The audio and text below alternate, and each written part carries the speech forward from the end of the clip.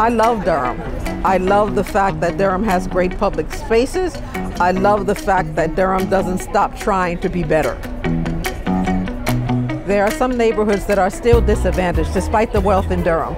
So trying to address that through participatory budgeting, that's wonderful. That's democracy in action. Participatory budgeting, or PB, is a way for residents of a community or other kinds of stakeholders to directly decide how to spend part of a public budget. There will be $2.4 million that residents will get to decide how to spend, and they do that in a really community-driven, grassroots way. First, people poured in input and said what projects they would want to see. This is really an opportunity for residents, specifically our underserved residents, to really have a say-so in what projects are going to be developed in their neighborhoods.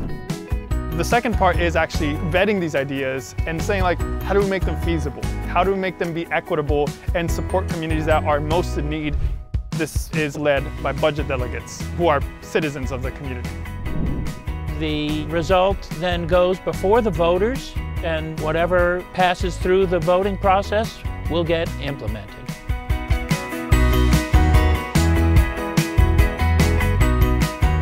I believe that our PB process is the most successful PB process in the entire country.